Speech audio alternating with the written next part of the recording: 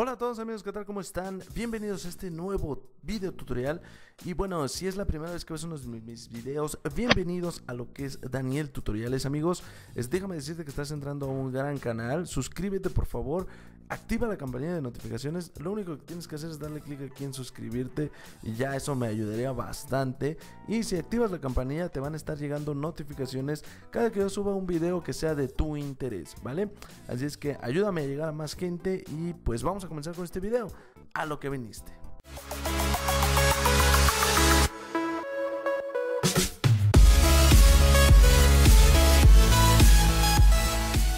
Y bueno, a mí me gustaría que llegáramos a lo que es una cantidad de 500 likes en este video. Recuerda que tenemos muchísimo más contenido en este canal que te puede ayudar a ti a pues aprender muchísimo, muchísimo más sobre Windows, sobre Android, etcétera, ¿vale?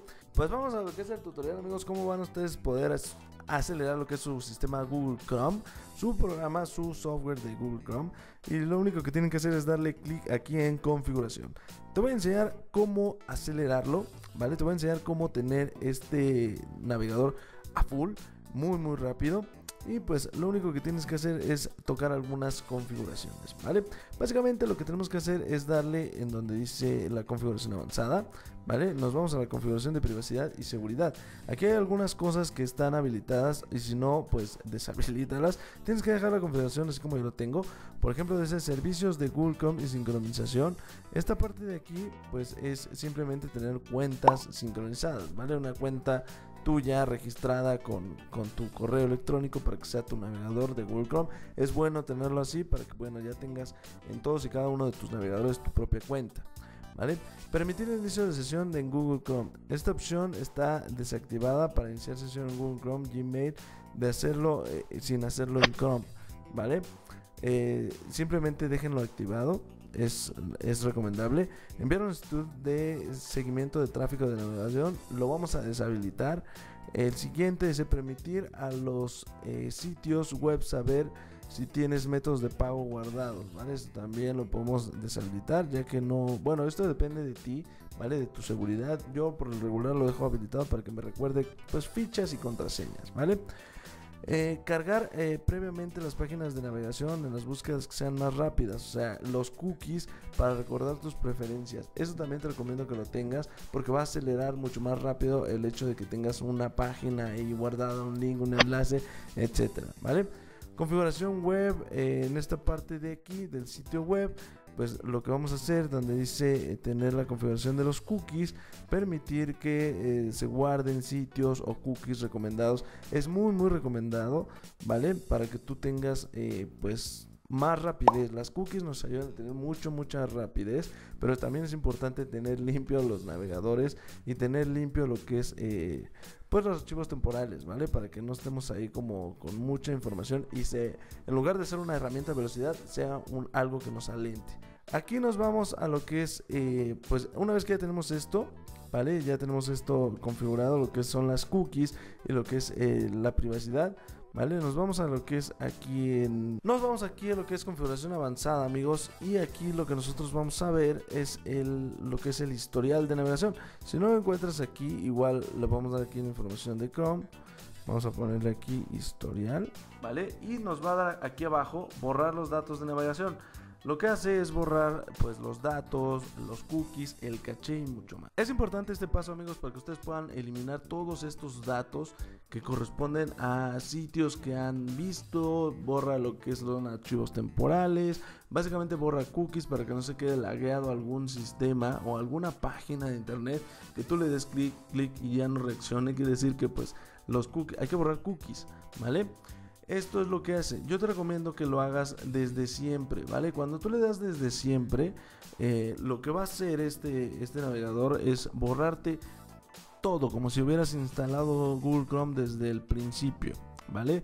Desde tu computadora nueva. Puedes hacerlo últimos días, últimas 7 horas, 4 días. Por lo regular yo lo hago cada, cada 4 semanas, cada mes. Le vengo aquí, le pico, le doy en borrar cookies.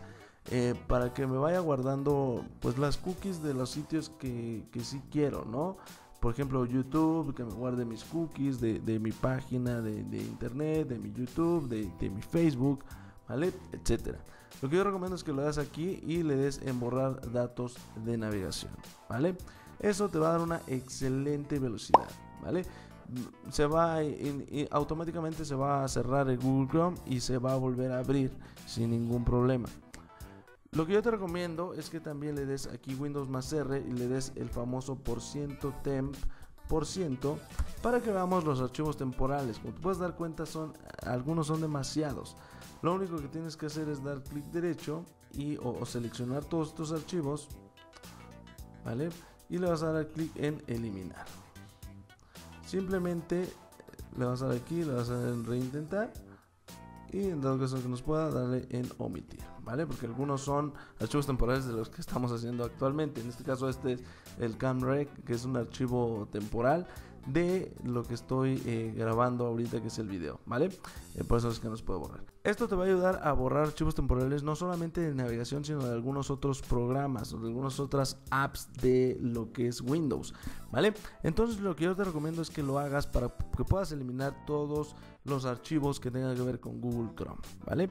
Es, es, importante tener ese borrado para que podamos tener un navegador más rápido.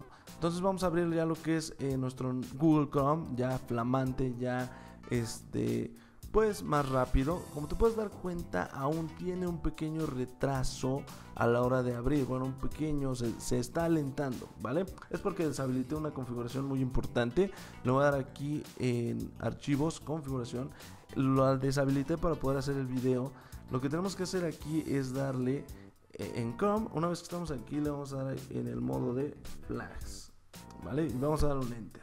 Así como yo lo estoy escribiendo, chécalo, apúntalo y entras en esta parte de flags. ¿Qué es esto, amigos? Como se pueden dar cuenta, esto es para expertos, ¿vale? Así es que incluso aquí te aparece un warning de que no, no muevas mucho si es que no tienes idea.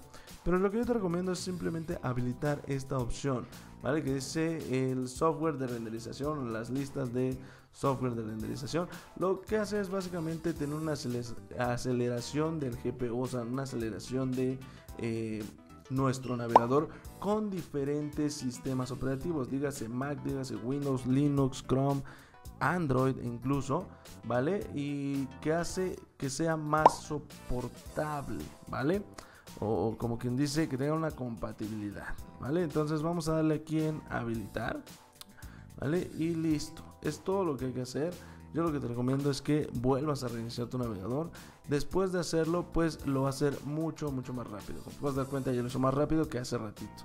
¿Vale? Siempre la página de inicio pues se va a colgar un poquito, esto ya depende de las páginas que tú tengas guardadas, de lo que, por ejemplo, yo aquí tengo habilitado lo que es el adblock, ¿vale?